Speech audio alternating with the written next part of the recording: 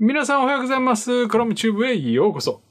この番組ではですね、毎朝5分ぐらいで時事ネタをクリエイティブに紐解いていってます。今朝も行ってみましょうということで、今日はですね、でもちょっとね、ごめんなさい。えっと、今日はちょっと異例の回。あの、めちゃめちゃ嬉しいことがあったんで、えーそれを一つシェアさせていただければなと思っております。たまにはいいでしょ？こういう話があってもね。はい。という感じでですね、今日は何があったかと言いますと、うんと、僕の普段やってるメインチャンネルがあるんですね。えーこちら、コラムチューブとは別に、えー、ひろき長沢 YouTube チャンネル、海遊びの達人というのをやっていて、大抵海の関連の話とか、サーフィンだったり、ハワイの話だったり、クリエイティブな話なんかを取り上げているんですけど、その中でですね、えー、もともと、このコラムチューブのように、毎日更新しているコンテンツがあったんですね。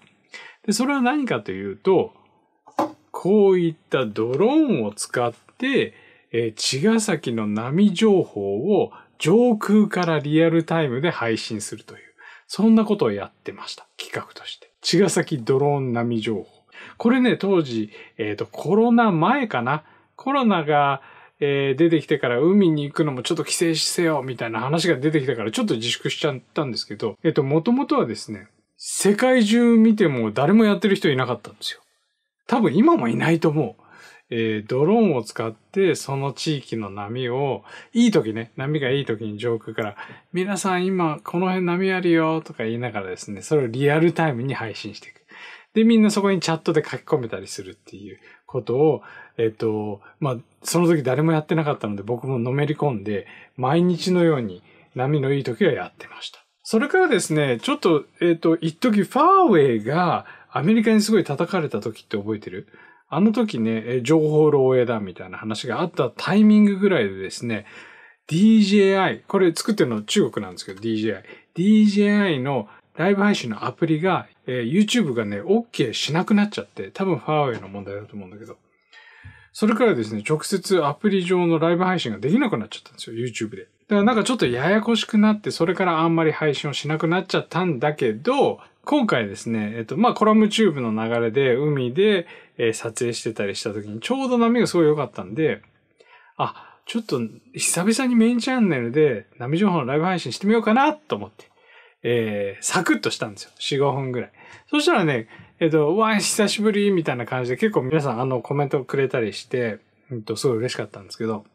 そしたらですね、なんとですね、そこで一人、めちゃめちゃ嬉しいコメントをくれた人がいて、なんとさ、ライブ最高です。自分はこのひろきさんの波情報を見て3年前くらいにサーフィンを始めました。久々に見れて嬉しいです。何これ？みたいな。そんなことあんの？と思ってめちゃめちゃ嬉しくて。なので、まあドローンにこだわる必要はないんだなって思ったのが一つっていうのと、あと同時にこういったコラムチューブも含めてだけど、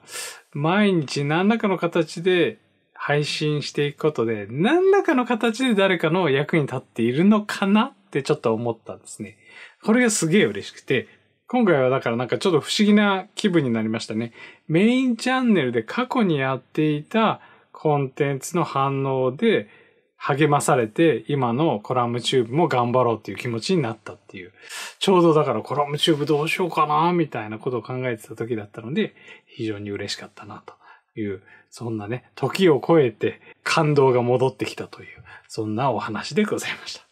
だから今はすごい地道で、なんでこんなことやってんだっけみたいなことを、あの、ただね、出てくると思うんだけど、おそらく何らかの形で未来の自分が喜ぶことが起こるんじゃないかなって、そういったことってきっと世の中いろいろあると思うんで、あの、もしね、皆さんが今聞いて、自分に何らかの形でこれを置き換えられたら嬉しいかなと思ってシェアさせていただきました。一人の一つの声が一生残ったりすることもあるし、励みになったりするっていうのはね、あるし、テンションがその日一気にそれで変わるってことがあるんで、はい。そんな嬉しいコメントはいつもウェルカムですよっていう。違うか。まあそういう話ではないんだけど、あの、人間を幸せにできるのは人間の一言だったりするんで、まあ逆もしかりですけど、はい。あの、ありがとうございましたと素直に嬉しかったです。はい。という感じで今日はちょっと異例な回になりましたけど、また明日のコラムでお会いしましょう。バイバイ